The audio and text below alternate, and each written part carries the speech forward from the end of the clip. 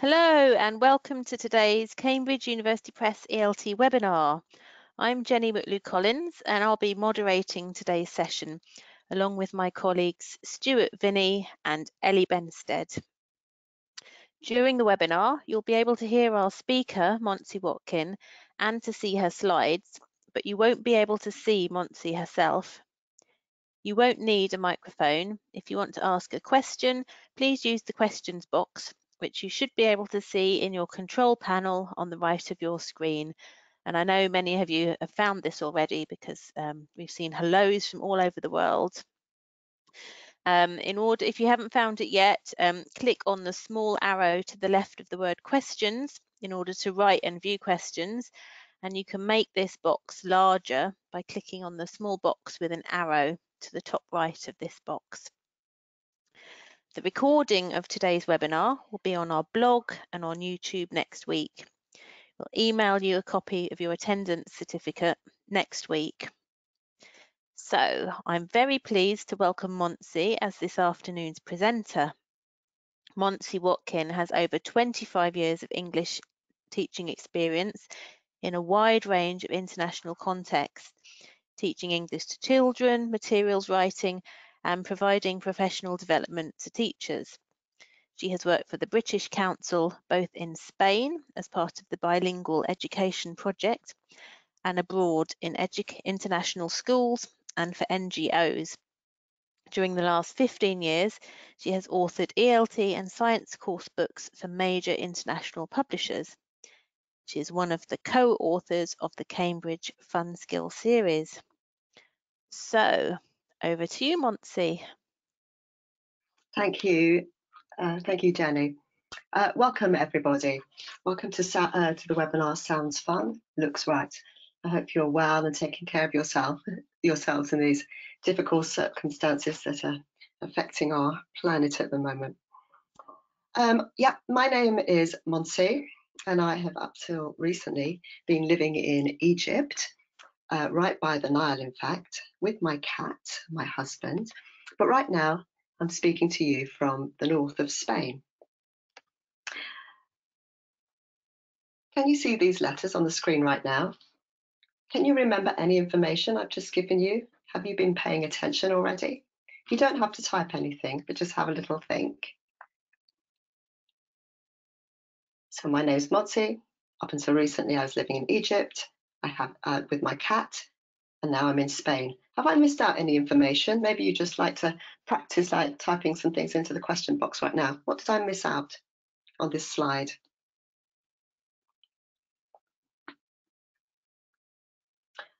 Oh, I don't think many were. Oh, sorry. Let me see, I'm just getting used to reading the, yes, exactly yeah, that I've lived with my husband. Great, good. And I was living right by the Nile as well. So I just want to show you with this that it's, it's quite easy to integrate a simple starter uh, to get your students engaged or get them paying attention from the beginning. And I'd like you to remember this motto throughout this webinar. Little and often when we practice some of the things that we're going to look at today in today's session. Sometimes learning vocabulary, learning a new language, is a bit like this. Looking up at the starry sky at night, you see lots of shiny spots, and you're not sure if they are in formations or if they're connected, if there are any patterns there. And it can all look very confusing. So we need to make sense of that confusion. But right now, what I'd like you to do is to imagine you're looking up at the stars at night and you see a shooting star or an exploding supernova, what sound would you make? Have a think. You can just make it to yourself. You don't have to type in the box. Maybe you'd say this, wow. And maybe that would be a different sound from going to the dentist. Just say a sound you might say at the dentist. Yeah, it might be, oh, or it might be, ow. And imagine you were going down a magical slide from the moon to the earth. What sound would you make as you whiz down that slide? Whee! And that would be a very different sound from walking across ice, wouldn't it? Very thin ice. Oh, oh, oh. And if you're hungry and you put suddenly a hot potato in your mouth, you might make this sound. Oh, oh, oh, oh. And you can't see me right now, but I'm wearing very exquisite and very expensive diamond earrings. And you might, if you saw me, say, ooh. And then if I want a little bit of silence, I can put my finger to my mouth and say, shh. Musicians tune their instruments, don't they? And singers go up and down the scales before they perform. And so we too, with our students at the beginning of the class, could exercise our mouth muscles and our sound muscles. We can, we can um, practice making funny faces as we say, wow, oh, really exaggerating our mouths. Ooh, and then we can mix them up and put them all together. Wow, wee, shoo, oh, oh, oh, oh, ah. And on paper, if we looked at these sounds, they'd look a little bit different, wouldn't they? Take a look, have a little read. Mm, lots of different spellings there for those sounds. And then we have shh, and we can see at the beginning of the word, the end of the word, and in the middle, attention. So the English language, as we can see, and as we probably all know, is a tricky one. Many letters are rebels. They don't like to conform to having the same sound. Cough, plough, dough. And many sounds don't like having the same letters. Time, to, write. So I feel it's a good idea for our young learners. Um, I think it's a, a, good idea to draw our young learners' attention to these patterns to support their to support their learning of the English language and support their learning of vocabulary, but without overwhelming them. And as with everything in life, if we can understand what we're looking at, if you can see patterns in the constellations and make connections, we can learn to understand them and see the bigger picture. And so it is with sound patterns and spelling patterns. And I do apologise for the very underwhelming picture there, but um, I couldn't find a royalty free Orion's belt or Big Dipper. it's true that we already have a lot to teach. So in this webinar, we can make sound spelling awareness an easy, um, I'd like to look at how we can make sound spelling awareness an easy and effortless part of our lessons so that the sounds and their graphic patterns, how they're represented on paper, become familiar friends like Orion's belt or the Big Dipper, and our students are interacting with words and are engaged. So in this webinar, we will look at what phonics is, how our course books are helping, and what we can do to support our learners and help them navigate through the universe of sounds and spellings to become confident readers and writers. So over to you just for a moment. What is phonics? What do you understand by phonics? Without writing a long paragraph, can you just summarize in a sentence or in a few words what you understand by it? What is it?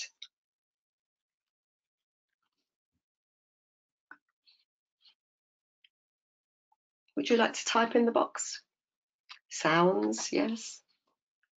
Involves sounds, Sound of alphabets. Yeah, exactly what sounds. Is it A, B, C or abaca? Sounds made by letters, that's right, sound of a word. Exactly, sounds phonemes. Oh, some vocabulary there, phonemes. Good, phonics is about sounds. Exactly, thank you. So yeah, phonics is the teaching of sounds and how they are represented by the letters. And there are 26 letters in the alphabet and approximately 44 sounds that they represent.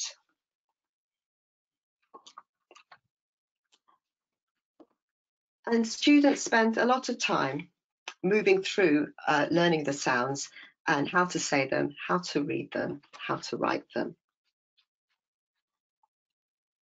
British American and bilingual schools follow programs, phonics programs that provide a very clear and systematic approach to the teaching of phonics to provide students with the tools for reading and writing. And that makes sense because children are learning their own language and they're able to apply their knowledge of sound and letter combinations. In other words, they're given the tools to read any word, whether they know it or not.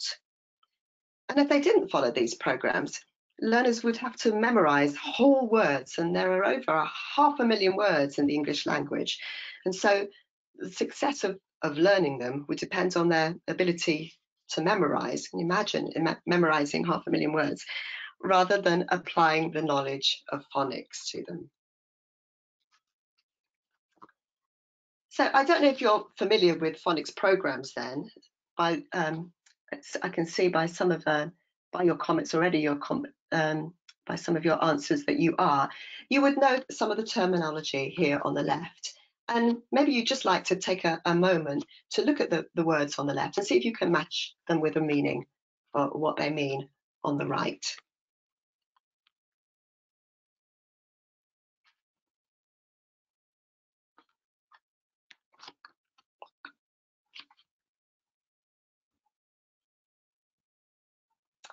So, see if you were correct. A phoneme is the smallest unit of spoken language. So that's the a, o, b, t. A grapheme is any written letter on the page. A digraph is two vowels with one sound. So for example, the A in rain, the O in boat. A consonant digraph are two consonants with one sound. So for example, sh, you can't hear the individual consonants there. A split digraph is when we have a vowel, a consonant, and an e at the end. So otherwise known as the other the magic E that you might be familiar with as well. So that a word like hop becomes hope and a mat becomes your best mate. And then we have decode.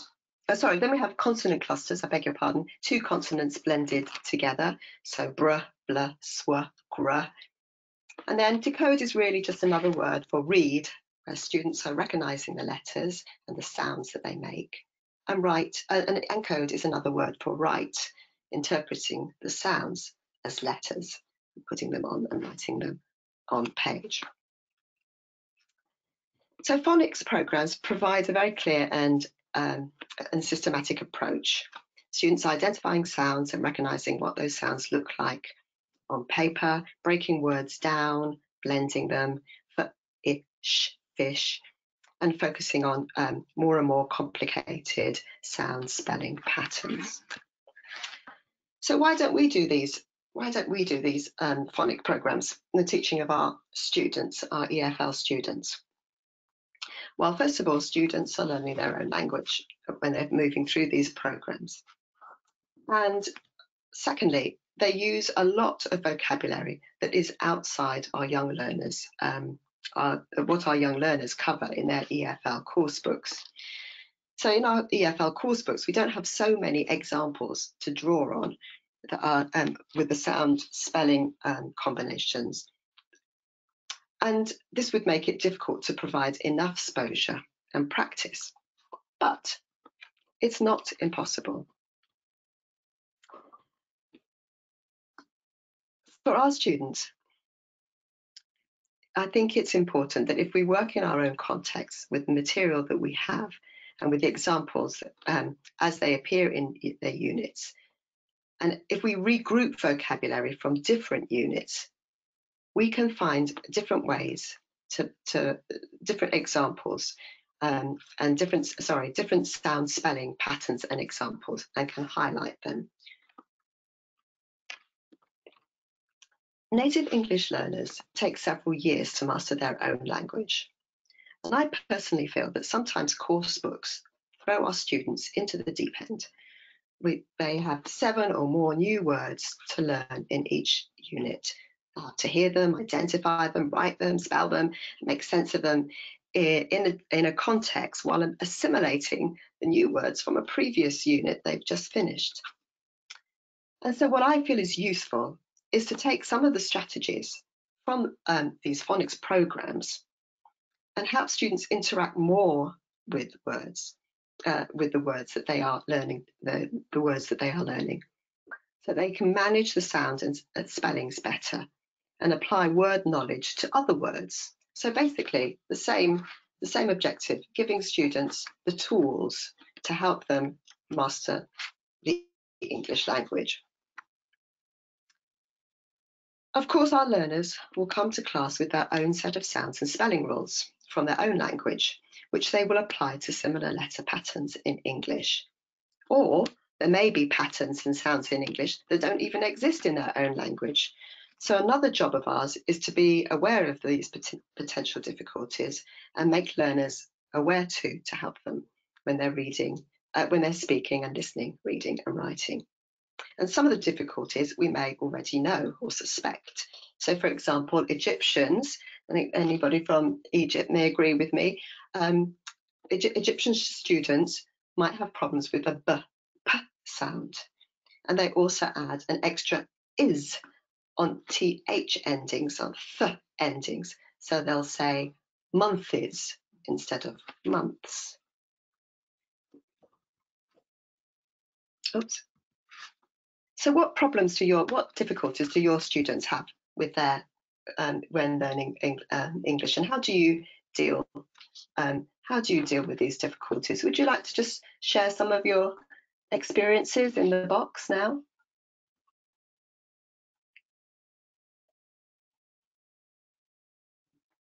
So what sounds do your students have difficulties with? And is there any, do you have any ideas of, of what you use in, or what you use in class to help them manage those those difficulties in pronunciation or spelling.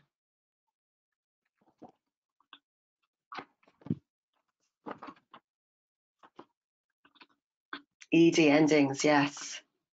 The sounds, yes. Vowels, yeah. B and P, yes. the Mm -hmm. So you do drilling and repetition, yes. Good, the sounds. Good, oh, the schwa, yeah, the uh sound at the end of words in particular. Good, yeah. Great. Yeah, Spanish students have the, the, the yeah, great sound. Very good,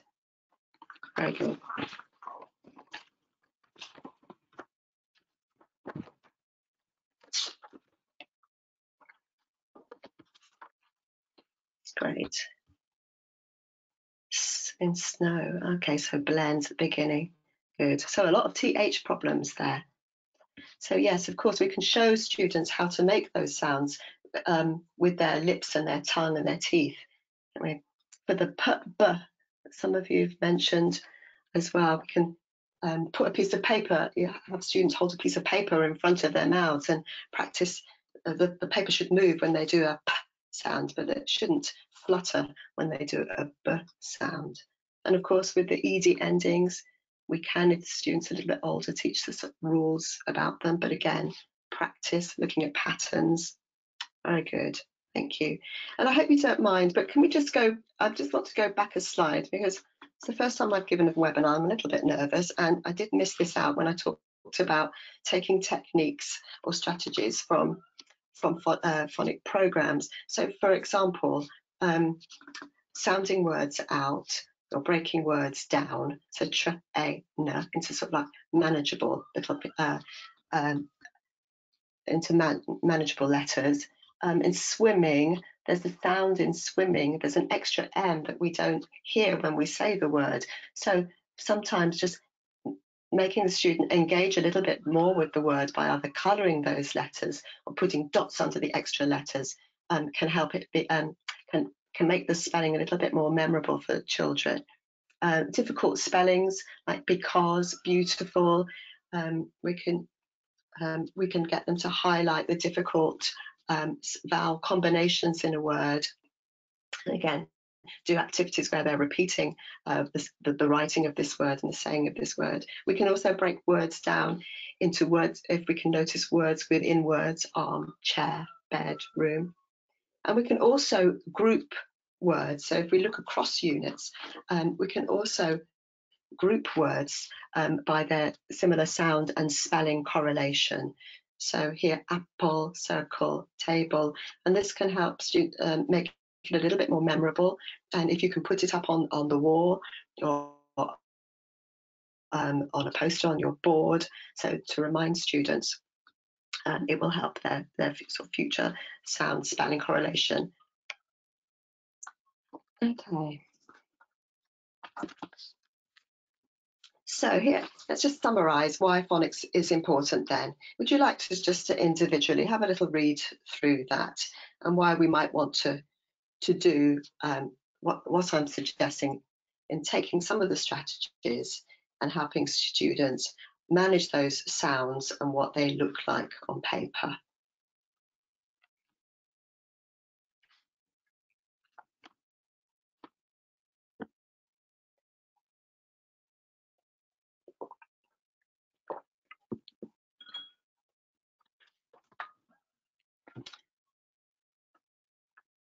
Okay.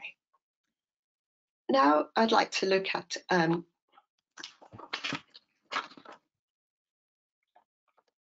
Now I'd like to look at how two course books are helping students manage words and sound spellings. And we, I will look at ideas around what you can see in the course books that you can adapt to your own setting and to your own material. Remember my motto at the beginning of the webinar, little and often.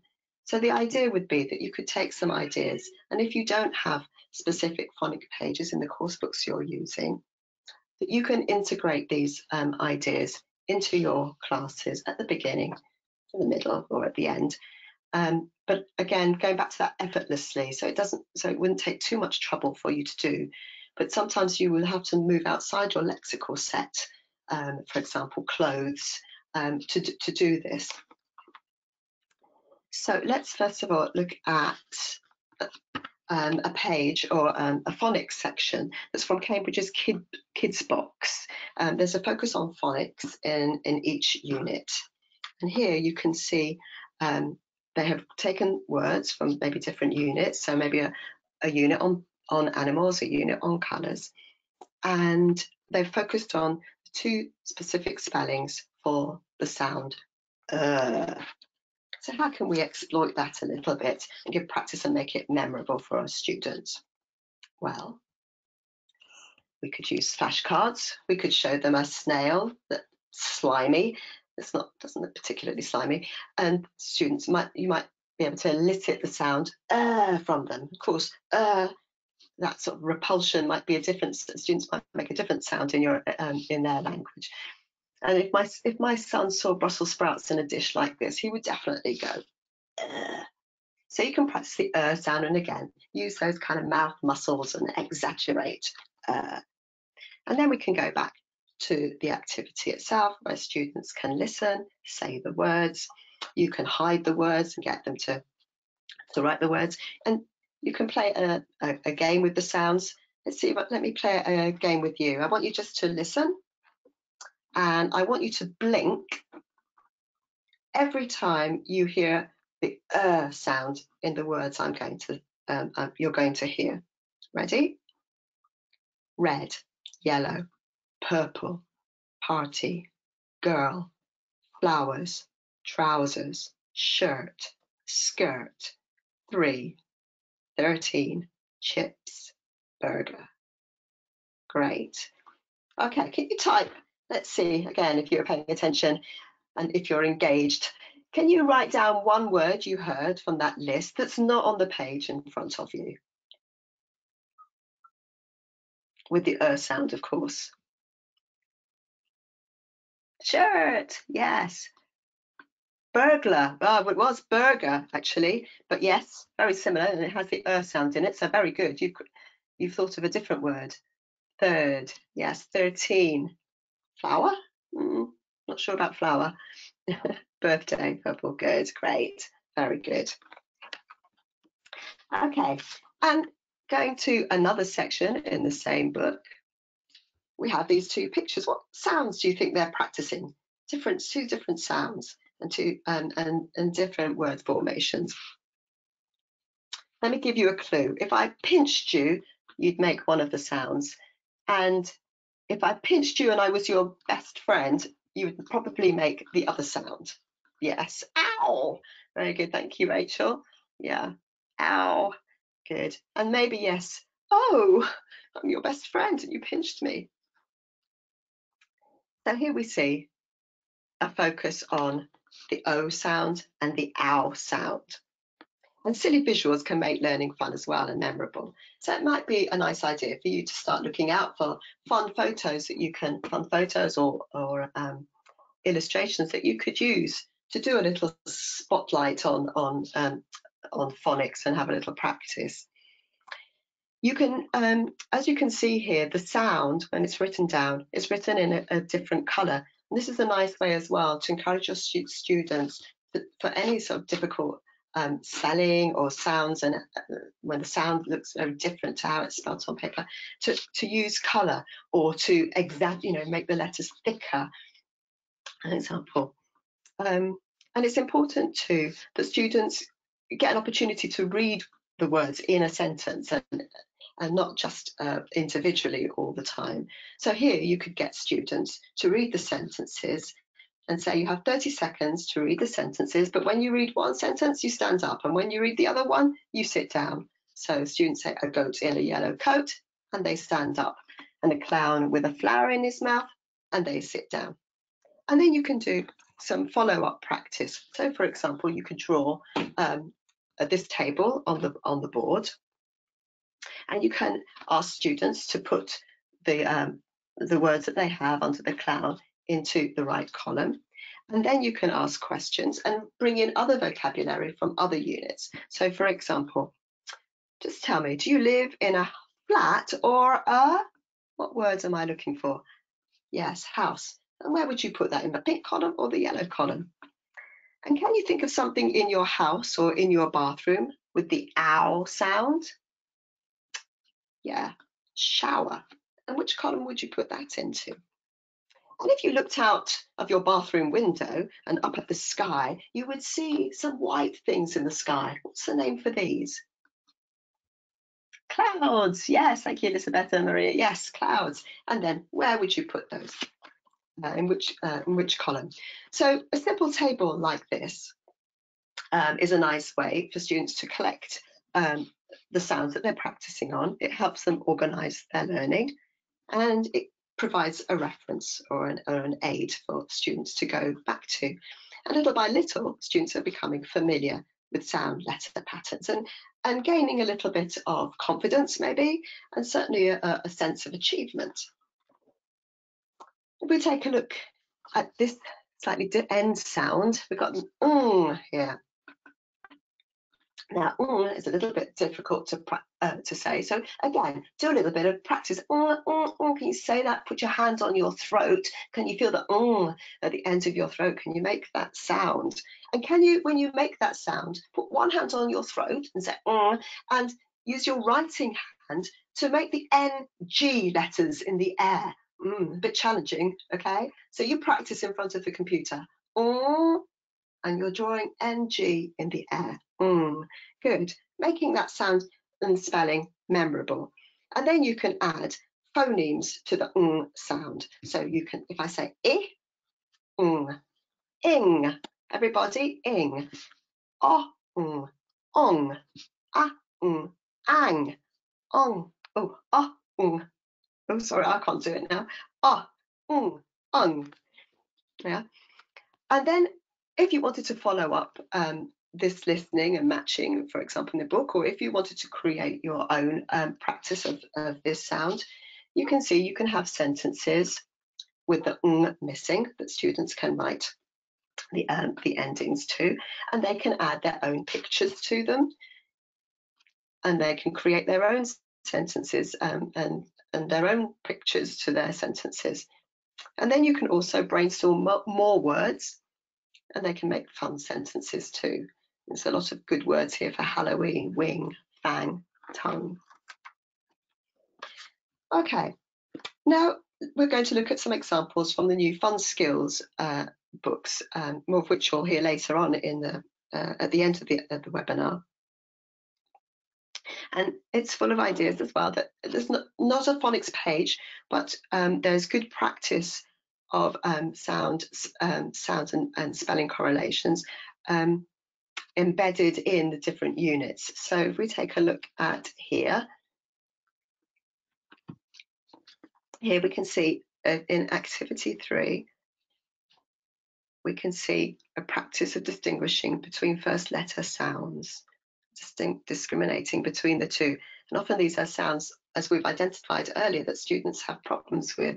T, d, p, b. There we are.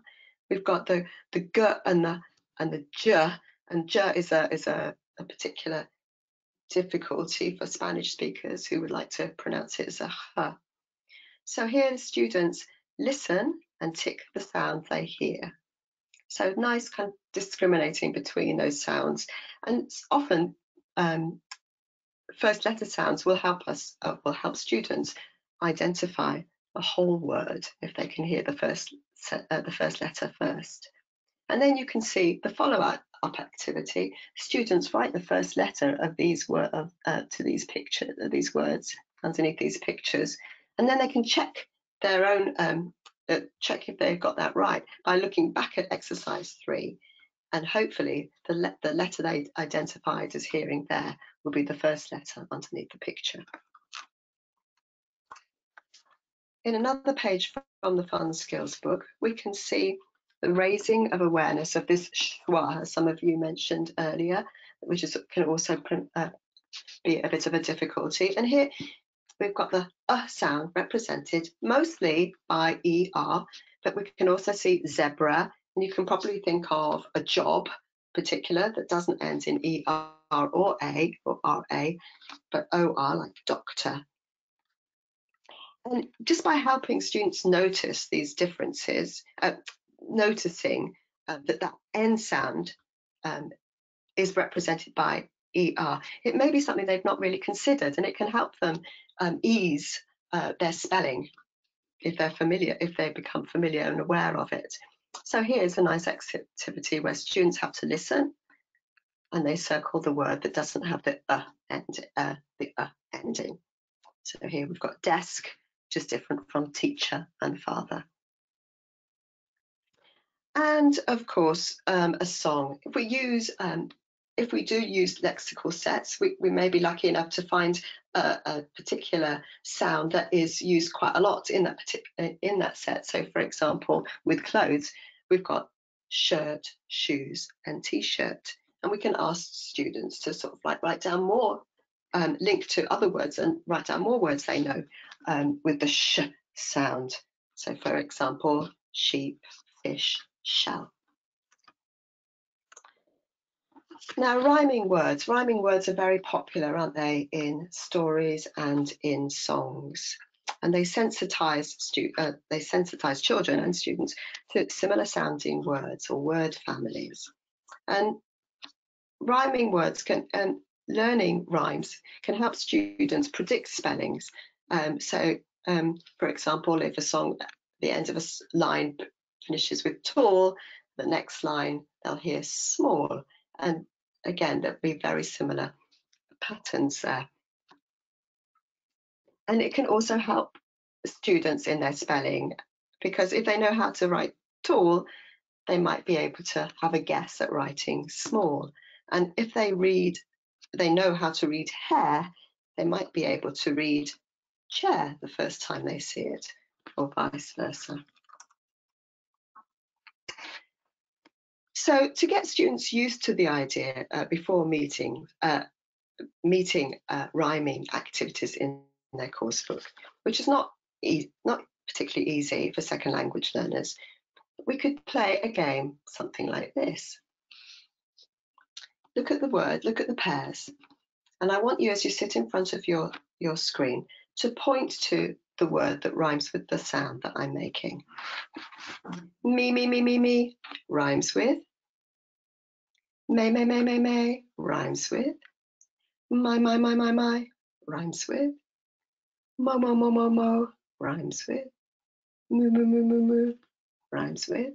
And then I can do that again, and this time you'd shout out the word. So me, me, me, me, me rhymes with three. May, may, may, may, may rhymes with grey. So these activities, uh, these similar activities can get students used to rhyming words. And activities like these prepare students for activities like this. Well, obviously songs that we've already mentioned, but here Neda, a character from the Fun Skills book, is talking about her favourite things. And she's talking about her favourite colour that rhymes with new, that's blue. Her favourite animal rhymes with frog, which would be dog. And her favourite toy rhymes with white, kite. So we can we can see similar um, similar spelling patterns, but we can also see different spelling patterns, as in blue and new. Here, students uh, in activity three listen and circle the word that they hear. So C B, which has a different which has a difference at the beginning of the of the word of the two words. And boat and boots are different in the middle. And bat and bag is different at the end. So again, exposing students to these differences, making them aware. And then poems, as we said before, can help um, can help um, students predict answers. They can help students manipulate words more so that they gain um, confidence. And then students could also you could take the poem away and use the words here on the on the left to, so for students to write their own poem using the rhyming words as as a guide and and as a as a, a prompt. So just to summarize at this point, the idea of introducing a phonics approach um, so to introduce a, a, phonics approach by doing these things, we can integrate a sound and spelling focus when we introduce new vocabulary or review vocabulary. So for example, think about the, the uh in word family members, uh, in family members or in, in jobs, teacher, farmer, um, and for example, in clothes, sh, the sh sound in clothes.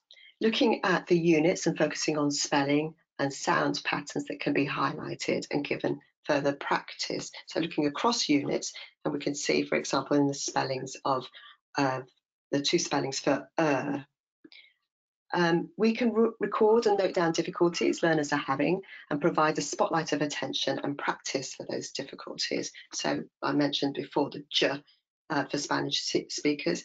Uh, represented by the, the, the J. So jeans, jump, juice, Jack. You might like to make a sentence with those words. Jack jumped and drank juice in his jeans. And we can develop our own systematic way of dealing with sounds and spelling words. And I think a nice thing to do is to actually, um, you can get these um, tables um, from the from the internet, but you can record, keep a record yourself of sounds and, and words that that students have learned um, for these different sort of like uh, the different words that students have learned for these different sounds. And and then you can use them you can go back to this collection and use them for your warmers and your activities. And you can also create visuals with your students make posters on the wall. You can give dictations of words for example train green kite and they have to write it in the in the correct column you can have just pictures to match to the words in the column. So, um, so and you can also sorry, and you can also um, help students, uh, uh, encourage students to have dedicated pages in their in their in their notebooks um, to practice or to keep lists or tables with um, words that sound the same but maybe have different spellings. So finally, um, I'd like to just go through my toolkit that I have, uh, my phonics toolkit for embedding phonics into our lessons um, and teaching and into students' learning. So flashcards, everybody uses flashcards, I think, don't you? Um, mm, every, sorry, I've just realised I've used, I've lost my box for questions and answers everybody uses flashcards. Um, we um, we do activities, for example, when we're teaching new words, run, um, sort of point to, run and touch, pick up, um, can do simple Simon says, put on your shirt, simple Simon says, put on your shoes. Um, while students are looking at the pictures. You can do Pelmanism. Do you know what Pelmanism is? Where they do matching activities, where they're just matching the first sound, like j, j, or sh, or h, with the words, with the new vocabulary. And then we can also do matching exercises with the whole word. So for example, trousers, shirt, watch, and students have to match the word with the picture. We can, with a different set of pictures, um, we could focus on N sounds where students match the N sound with the pictures that they see. So here you'd have k, which here would match with sock. And of course you can do rhyming words also matching. So glue with shoe, clock and sock. And we can make our own flashcards. So here, just take a look at uh, these flashcards for a moment and tell me what consonant blends or consonant clusters they might be practicing. And I'm sorry because if you type in anything, I can't I can't seem to see that right now. Questions? Yes, I can now. Sorry. Yes. Good. Fl. Oh, sorry. Yes. Fly. I lived in India for a few years. That's why we've got the cricket players on the grass in front of the trees. And what would you do with these with these um, what would you do with these flashcards? Well, you could give student, you could write um, the consonant clusters on the board. So for example, cr, fl, sk, and students can pass along uh, pass along the flashcards and try to identify a word in the picture that might start with one of those letters, uh, with one of those combinations. You can write sentences for students to, to match, uh, to mingle and match with a picture. You can just get students to, to share the pictures and write their own sentences. A driver on a green tractor, a plane between the clouds in the sky. So again, collect collect pictures so that you can um, do warmers like, like this and with other sounds. Post-its, post-its is in my toolkit. Post-its um, are very easy to use, easy to write on, easy to, to create um, for, for a class. Um, if, I, if I gave you this sound right now, where would you put it in the room that you're sitting in? Is there anywhere the sound, the k sound, could you, is there anything in the room that you're sitting in right now that you could put it on? Desk. Yes. Very good, Maria. Couch. Good. Good. Clock. Great. Keyboard. Kitchen. Mm -hmm. Clock. Kite. You've got a kite in front of you. Good. Kettle. Someone's about to make tea. Colours. Great clock, uh-huh. curtain, great, very good, very good. So then you can ask students to write these words. You could make um, you could make K the sound of your week, the, the K sound, the, the sound of your week, and have it have the the post-it on the corner of your board. And every class that you have points to the point to the to the post-it elicit the words and have one or two students come up and spell those words. You can do this with other sounds and other words. And you can also um, give post-its with a sound on and make sure students are aware that it's the sound and look around their classroom and start the class with a post-it being attached to an item in the classroom. And just staying on, you here you've given me a lot of words from the home, obviously, because that's where you're sitting, maybe curtain, desk, kettle. And maybe I could use the opportunity to revise some house vocabulary, seeing as you're all sitting in your houses right now. So I could say, how many oohs are there in house? How do we make that ooh sound? What does that look like if we wrote it down? You just show me in the air? And students draw two big circles in the air, uh, two big O's in the air to represent the ooh sound and practice it. Ooh, do those, um, use your voice, uh, your mouth muscles again. Ooh. So what words can we find with ooh in the house? And students hopefully would come up with bedroom, bathroom, living room. But what about these two words? They've got two O's. Do we say ooh? No, we say floor and door, and it matches with, uh, and it rhymes with four. So you can bring in some rhyming with it, but also you're highlighting differences as well as well as similarities between words.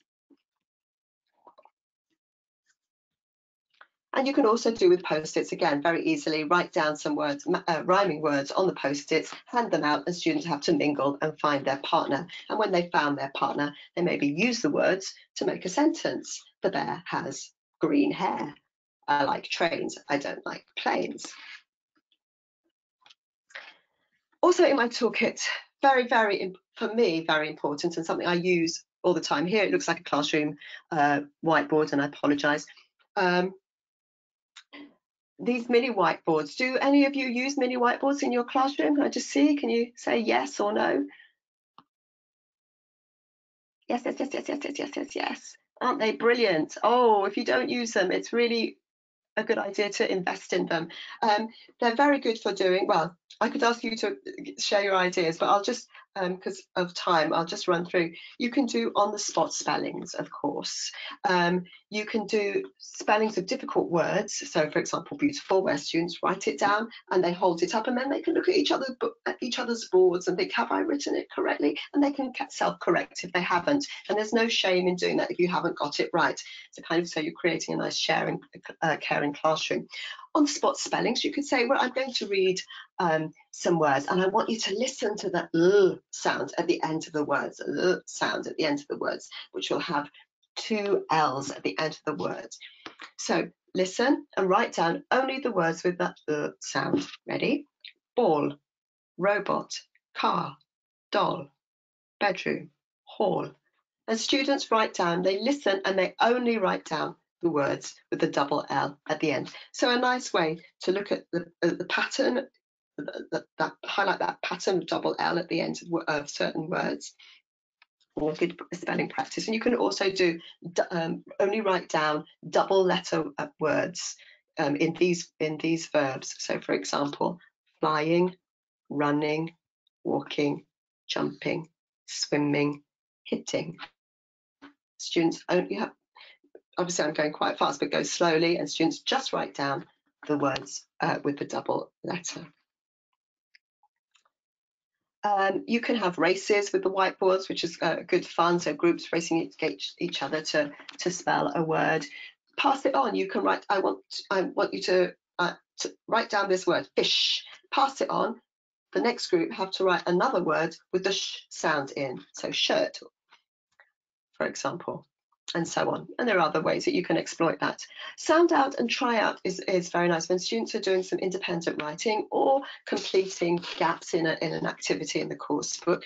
Um, they can have a go at writing a word on the board first before they write it in their neat, uh, in their course book or in their in their notebook neatly.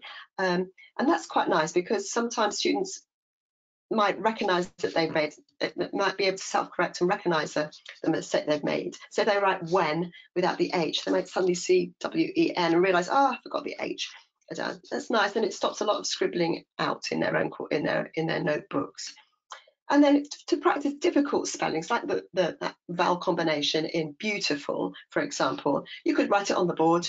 Students have a couple of seconds to look at it, you rub it off and then write it down and then and and then they can show and compare and then you can have a volunteer write the word on the on the board for the rest of the class to, to compare to.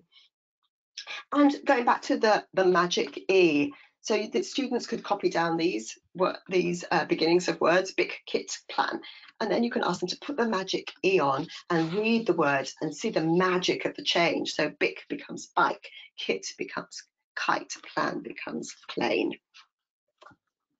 Okay, and finally, um, just a, a, couple of minutes just to take a look at, uh, to run through these very, very quickly, some other ideas in the toolkit. Um, use, the, use the spellings that you focused on to make rhymes and tongue twisters. So again, you're reinforcing that sound spelling. So the goat in the coat wants to float in a boat uh, how much chocolate did the chicken eat for lunch? And they're fun ways to begin a class. And then you can get students to try to write the sentence. And again, it's just a little bit of, of, focus on that, of that sound spelling correlation. You can have fun with alliteration, again, practicing those first letter sounds. Uh, Peter the pirate put a piano in his pocket. What else did Peter put in his piano? Can you type very quickly? He put a piano, he put maybe some pancakes because he was hungry. What else? Paper clips. He could put lots of paper clips in his pocket. Peter the pirate put a pizza in his pocket. Ooh, put peanuts in his pocket. Great. And then you can use alliteration to create, be more creative uh, also with maybe creating a poem. So where are the waves in the windy weather? Where can we walk in the windy weather? What can we wear in the windy weather? What can we watch in the windy weather? So practicing the w sound, which is also very difficult for, for certain nationalities to say, and students can can write a poem with the answers. I walk on the beach in the windy weather. I uh, so uh, sorry, where are the waves? So I see the the waves um, at, at sea in the windy weather. I can walk on the beach in windy weather. Do I wear my boots in windy weather? We can watch kites in windy weather. You can also go, if we just go over to the to the right side of the board, we can also go back to if we've had a, um, if we've collected words like that table I showed you where you you can collect the sounds that students have been working on. You can go back to that and create fun sentences for students to practice reading. And it is good if you can um, listen to individuals reading. Uh, students can practice reading to each other or, or while they're doing another activity like, for example, making their own rhyme, you could go round um, and listen to students reading, but also try to collect um, collect spellings um, or collect sounds that are difficult and put them into small uh, into fun sentences or to small in small text. So here you've got you can see the T at the end of the word. I can't see this because it's actually blocked um, for me at the moment, but you can see that the, the consonant Y at the end of words, um, which has that E sound. So a nice way to read that and practice and reinforce that sound. Um, so I'm just going to going to have to come out just for oops. Um, oh no, I can't. Oops. Okay.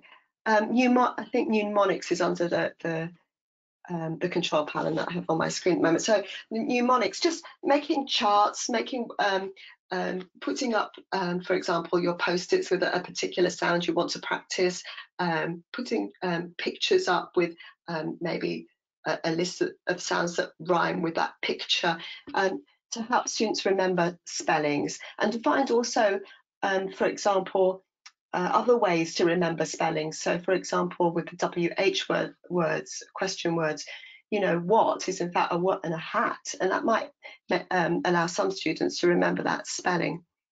Um, we can draw, we can draw letters in the air like we did with the ng, and we can draw on our part, the partner's back, those oohs, for example.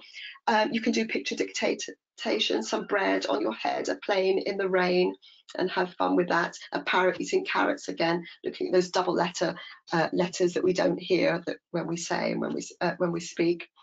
And again, you can help uh, by doing some syllable clapping, especially with this old sound, which adds an extra syllable onto words. So instead of apple, it's apple. And if you clap it, you can also internalize um, the sound of it and maybe the spelling of it too. So apple, noodle, table. Natural.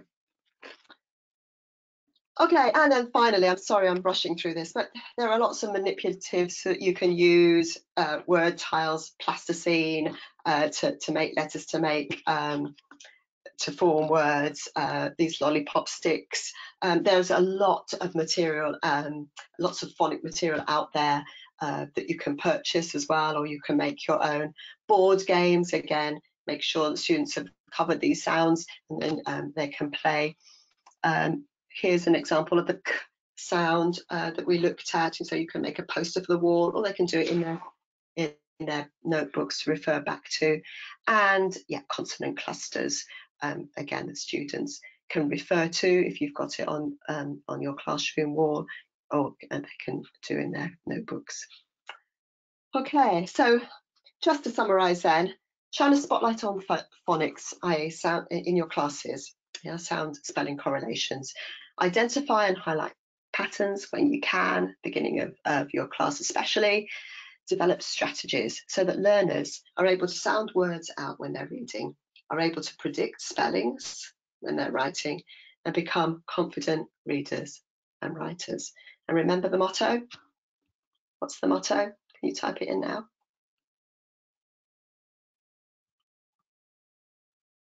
Not well, stay healthy definitely for for these days.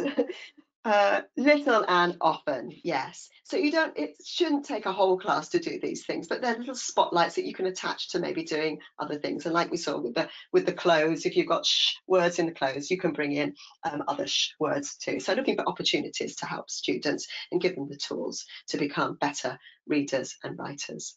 Thank you very much. And I think I've gone over time a little bit, but um, thank you for listening. And I hope you found the activities in this session helpful.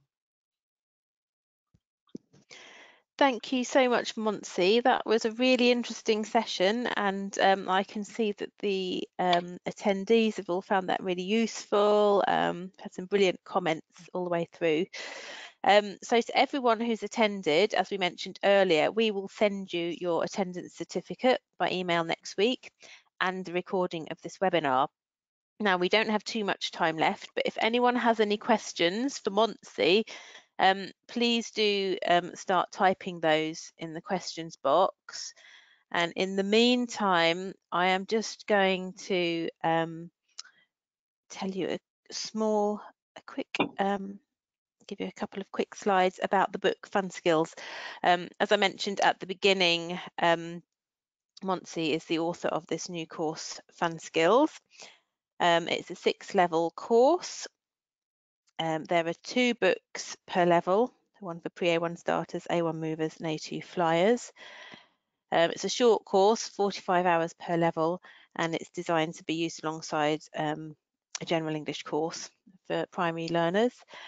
Um, it presents um, skill-based tasks and practice, helping students communicate confidently through listening, speaking, reading and writing. All of the characters that you can see here on the covers um, were designed by real students. So it's very inclusive um, and it really helps to bring the learning to life. All of the characters have got special roles in the books and um, they really make put the fun into fun skills. In addition to the students' books, we've also got mini trainers which contain two practice tests. Um, and we have got um, home booklets which the um, students can take home with them and it helps bridge the gap between home and school um, and it's basically um, adds more fun activities for them. Right, the other thing I wanted to tell you about quickly, just trying to move the slide on, if I can. I'm not sure I'm able to. Monty, could you possibly move the slide on? Okay, yeah, brilliant, sorry. thank you. World of Fun, one back. That's it. Sorry, sorry. That's, That's it. the one. Um, do visit our website, World of Fun, especially at the moment if you're looking for resources um, to give to students. If you're teaching them remotely and they're at home, there are lots of resources on here. We've got teaching tips videos, articles, story videos, webinar recordings, creative drama activities, writing booklets, new finger puppets, some digital posters, um, and also more details about our um, materials for young learners. Okay, let's just hand back over to Montse. Let's have a quick look if we have any questions. Um, Are there any there that you want to pick up on? Um, let's see, let's see, let's see. We've been getting actually quite a few as we've gone through the webinar. Um, oh, oh, sorry, uh, let's see, I just, um, how can we, oops, how can we start uh, how can we start teaching phonics to Spanish preschoolers? Um, so are you, I'm not sure if you're, you're, you're working in a bilingual school. Um, there are programs that you can, um, I don't know the name of any, pro well, there's the, the, very popular jo um, Jolly Phonics program um, that you could look into and that systematically works through sounds starting with um, three, four year olds that you could take a look at. Um, maybe you could Google that. Sorry, and Irma. Um, how can we? Okay, we've got a How few can we- questions here. Sorry, Montse, you So, carry on. No, no, I was just going to say, um, um, so a question from Fahima, how can we um, teach, recognize the different sound of, of the k sound? So, for example, we did that activity, didn't we, where you you, you place the, the post-it on uh, different things with the, the k sound. And right at the end of my, um, on that last page, there was a little chart that showed the different words that have this, the k sound, like, for example, the k in queen that, that we we put you. So I think um, just collecting words with the k sound that have different letter representations. Um, sorry, Jenny, would you like to answer a question while I look through as well? Uh, Um, I've just spotted a question that actually came up earlier. Is there a recommended number of sounds to introduce per lesson? Um, I thought that's quite an interesting one Um, because well, obviously, um, yeah, phonics programs will have, um, and again, I'm not an expert on on the phonics programs, although I have worked on some of them. But um, yes, there is a set number of, of sounds that stu students work through um, in a week, but I couldn't tell you right now how many. Um, here, what I'm suggesting in the in in my webinar is that we um, we look at we look at the sounds that that come up, and yes, we would maybe do a little spotlight once or twice a week, or you might have um, a sound, like I say, the sound of a week that you might just keep referring to and giving a little bit of practice um, as a warmer uh, in your classes or at the end of the class if you've got five minutes. Um, I'd recommend that you look at um, uh, maybe look at some uh, Google uh, phonics teaching on on um, on the internet and, and and look at the programs that are there and especially the, the Jolly Phonics and you'll find information uh, more information about using you know phonics programs okay. Thank you so much, Montse. We seem to be running out of time now. Um, and thank you all for attending. As we said, we'll be in touch next week with your certificates and webinar recordings. Um, it's been a really great interactive session and lovely to see so many of you from around the world. So stay safe, everyone. Take care. Challenging times we're in at the moment, but we hope to see you all again um, very soon. Okay, thank you. Bye bye. Thank you very much.